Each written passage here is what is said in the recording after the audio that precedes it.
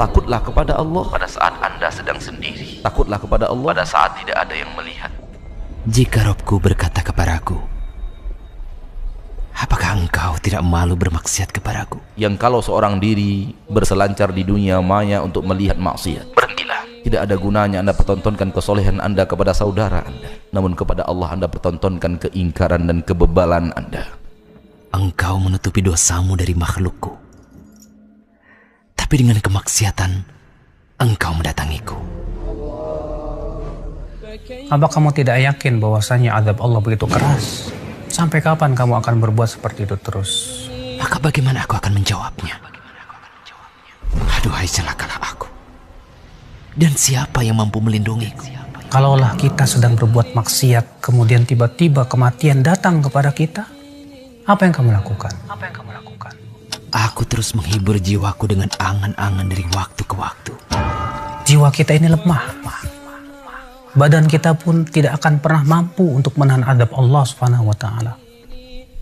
Dan aku lalai terhadap apa yang akan datang setelah kematian. Dan apa yang akan datang setelah aku dikafani. Kalau misalnya kamu hidup di dunia 60 tahun, tahukah kamu satu harinya di sisi Allah seribu tahun? Kalau satu hari 24 jam di sisi Allah seribu tahun, berarti kita hidup di dunia hanya 1,5 jam. Seolah-olah aku akan hidup selamanya. Hidup di dunia hanya sebentar. Dan kematian tidak akan menghampiriku. Tidak mungkin. Setiap kita pasti mati, akhi. Kullu nafsin dha'iqatul maut. Setiap jiwa pasti akan merasakan kematian.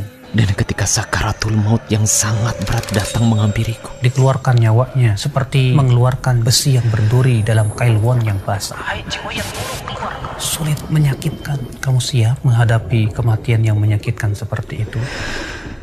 Siapakah yang mampu melindungiku?